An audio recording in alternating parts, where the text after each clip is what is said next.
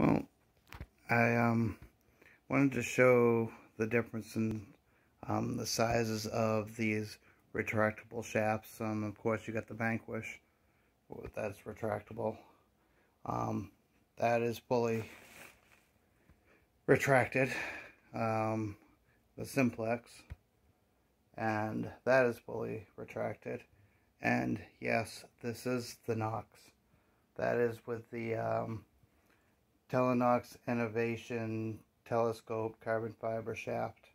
Um, it's definitely collapses pretty small. Uh, very, very small. I mean, it's, yeah, it's small. And, um, don't look that bad either. It's very easy to carry around. Uh, you could probably throw this right in a backpack and um, have it as a backup detector or your main detector, either way. But um, it's definitely light. Uh, it was easy to put together. It's got these clasps. Whoops, sorry about that camera. But anyways, you can extend it.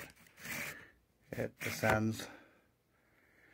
And really the only thing that you have to do is when you order order one, if you do order one for the Nox, is just take off the four screws in the back from your old shaft.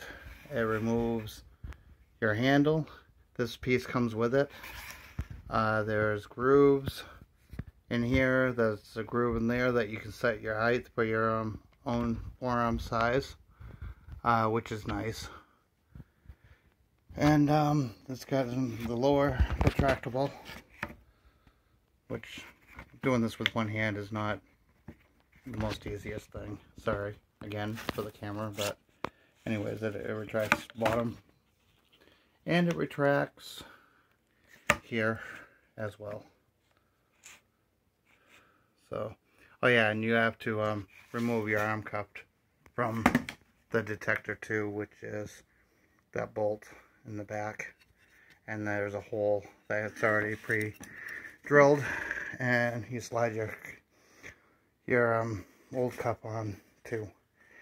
So that is the carbon fiber innovation um, shaft for the Nox series both 800 and 600 all right take it easy